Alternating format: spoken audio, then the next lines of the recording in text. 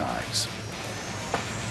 Time to talk uh, some healthy food choices for our young people. Leanne's back. How are you? I'm good, thank you. How are Good you? to see you. Leanne uh, Phillipson uh, Webb is here. You're the founder of uh, Sprout Right, I which am. is your website. That's right. Uh, but we're featuring another website today that can really help people. It's so, this is such an important topic and quite dear to my heart.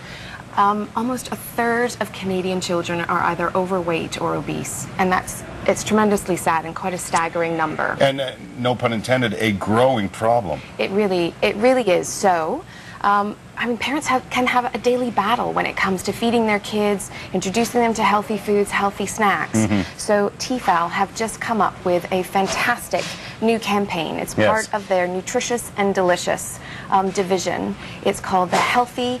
Healthy Cooking for Healthy Kids campaign. Just like that. It's an online resource for parents. You've got tools, advice, you've got forums, recipes, all the support that you need. Even an appliance that can help you. Well, they're, they're bringing in innovative new appliances to really help Yeah. parents to make um, fantastic foods. We're going to use this later? We're going to use this later. We're Okay. going to we're going to make some really delicious foods. What is, Leanne? What what problems are we facing now? Because obviously, for at some point in their lives, kids get an idea that healthy stuff isn't tasty, it isn't good, and s for some reason Yes. that gets into our heads and it sticks.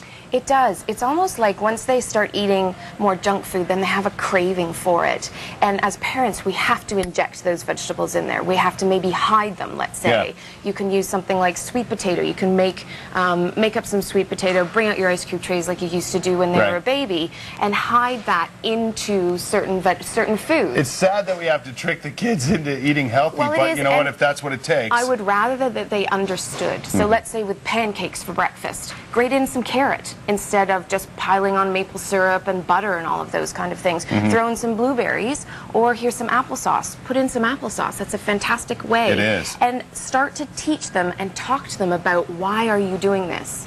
Not only about why should they eat what they, their bodies need to give them energy, but this is one of the resources that um, you can get on the nutritious-delicious.com dot com or sorry dot ca website yeah. this is a plate that you can put underneath put on the table so Mm-hmm. you can start the conversation start discussing how much of their plate needs to be fruits and vegetables grains and proteins Yeah. and it really honestly i believe is so much in the education but sometimes parents struggle they don't necessarily know how to feed or eat themselves I know. so how am i going to how am i going to overcome this for my yeah, kids we have to lead by example. There's no question we, about we it. really, really do. But with these tips and tools and advice and support from other parents and, and comments about recipes and how it worked and what the parents did, it really is the support that I think parents need. In your estimation, how much is are things like portion control part of this whole process? Because I- that's I one think- thing I know yeah. that uh, I, as an adult, struggle Yeah. with, and Yeah. uh, you know, always have struggled with. Yeah. Uh, you're overeating, and you don't really consider it overeating. That's right.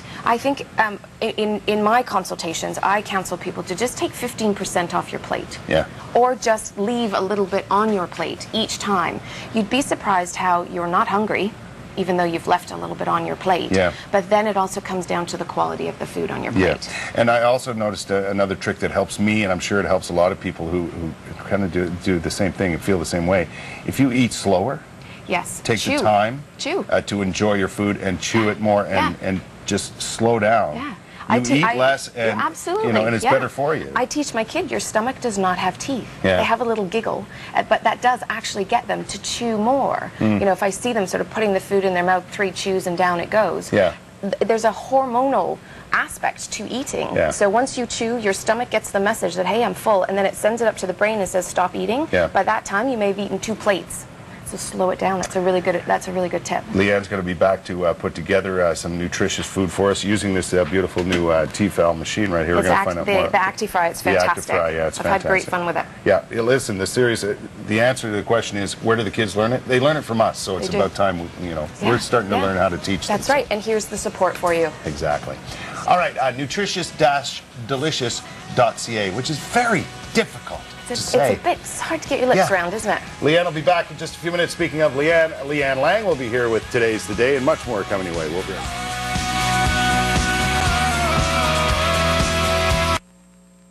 This hour.